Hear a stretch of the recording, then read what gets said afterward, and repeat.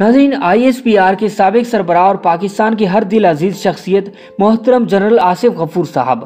اکثر اپنی گفتگو میں یہ بات کہا کرتے تھے کہ ہم پر ففتھ جنریشن وار مسلط کر دی گئی ہے اور ہم انشاءاللہ پوری جرت اور وسائل کے ساتھ اس کا مقابلہ کرنے کے لیے تیار ہیں۔ لیکن اس وقت ہماری اکثریت اس اصطلاح سے آشنا نہ تھی کہ آخر کون سی ایسی جنگ ہے۔ لیکن مغرب سے درامت کیے گئے اس نعرے یعنی میرا جسم میری مرضی کے بعد، اب اس بات کا کسی حد تک اندازہ کیا جا سکتا ہے کہ یہود و انصار ہمارے ایمان میں نقب لگانے کے لیے کس قسم کی چالوں کا سہارا لے رہے ہیں۔ اور ہمارے ساتھ خواتین ہی نہیں، بلکہ مرد حضرات جن میں اکثریت میڈیا پرسنز کی ہے۔ وہ کس طرح خود کو بازار بیچنے پر آمادہ ہو چکے ہیں۔ آپ شاید حیران ہوں گے کہ ہمارا میڈیا جو کہ حساس ترین ملکی اور معاشرتی مسائل کو زیر بحث لانے کے لیے بھی ایک آدھا ٹاک شو کا اہتمام کر کے آگے بڑھ جاتا ہے۔ وہ آج اس قدر حساس کیوں ہے؟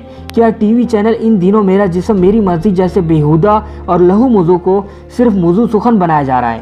بلکہ یوں محسوس ہوتا ہے کہ شاید ہماری اخلاقی، معاشرتی اور مذہبی اقدار کا آغاز اس قدر بے رحم ہے اور وہ معاشرے کی کثیر آبادی یعنی خواتین کے حقوق کا قتل کر رہی ہیں۔ جبکہ اس کے ساتھ ساتھ بعض ٹی وی اینکرز یہ تاثر دینے کی بھی کوشش کر رہے ہیں کہ خلیل الرحمان نے کمر ماروی سرمت کی شان میں گستاخی اور اپنے موقف پر ڈٹ کر کسی عظیم گناہ کا ارتکاب کیا ہے اور اس جرم میں سے بقول عامر لیاقت علی دماغی امراض کے ہاسپٹل میں داخل کرنے کی ضرورت ہے۔ ویڈیو کی تفصیل میں جانے سے قبل ہمارے چینل کو سبسکرائب کر لیں اور ساتھ موجود گھنٹی کے بٹن کو بھی دبا دیں تاکہ آپ کو مل سکے ہماری ہر ویڈیو کی اپڈیٹ سب سے پہلے۔ معزز خواتین و حضرات اس میں کوئی دورائے نہیں ہو سکتی کہ اس بےہودہ نعرے یعنی میرا جسم میری مرضی کی تعمیل کرتے ہوئے اسے سوائے فحاشی اور خدا سے بغاوت کے کوئی اور معنی دیے جا سکیں۔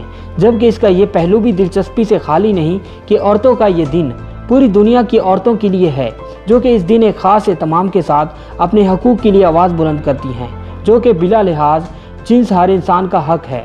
لیکن ہم دیکھتے ہیں کہ ہر معتدل سوچ اس بات پر اتفاق کرے گی کہ پاکستان کی فضاؤں میں بلند ہونے والے اس بہودہ نعرے سے قطعی طور پر یہ تاثر نہیں ملتا کہ اس کے پیچھے کسی ایسے حق کا تقاضا ہے جس سے اب تک محروم ہیں۔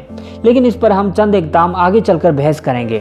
البتہ اس موڑ پر ہمارے میڈیا کا کردار بھی قابل توجہ ہے اور یوں محسوس ہوتا ہے کہ وہ بھی خلیل الرحمان کمر کو نشانہ بنا کر اس کار خاص میں اپنا حصہ ڈال سکیں۔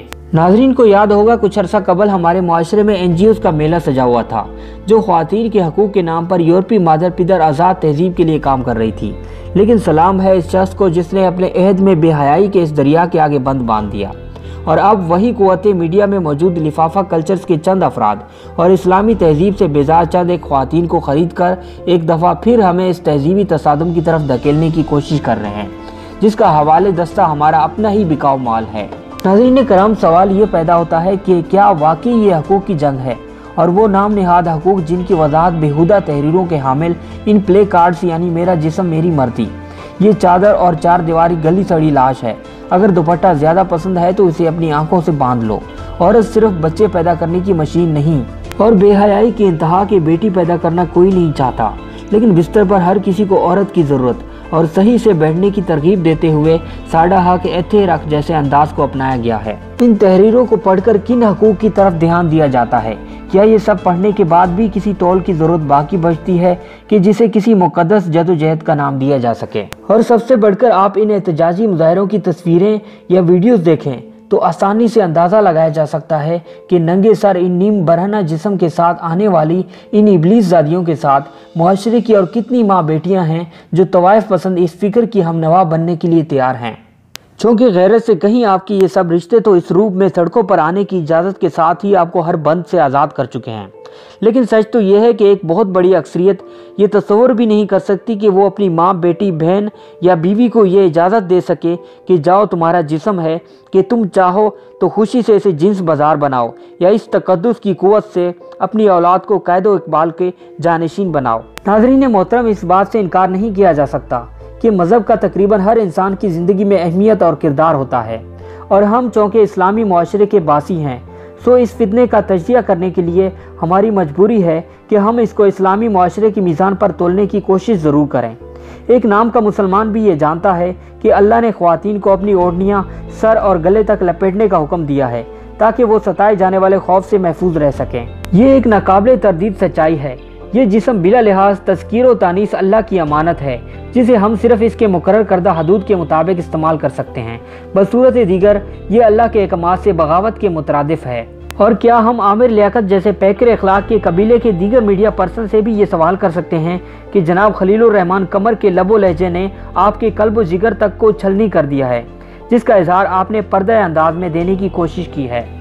لیکن جس نے اخلاق باختگی کے زور پر اپنی پوری کمیونٹی کو ہی طوائفوں کی ایک منڈی میں تبدیل کرنے کی کوشش کی ہے، اس سے تو آپ یہ بھی نہ پوچھ سکے، آخر وہ نہ صرف خود کو، بلکہ اس پوری برادری کو بے حجاب کرنے پر بزید کیوں ہے؟ جو آج بھی یورپی معاشرے میں اپنے حق و حجاب کے لیے لڑ رہی ہیں۔ تو دوستو، اب تک کے لیے بس اتنا ہی۔ مزید اسی طرح کی معلوماتی ویڈیوز حاصل کرنے کے لیے ہمارے چینل کو سبسکرائب کرنا مت بھولیں۔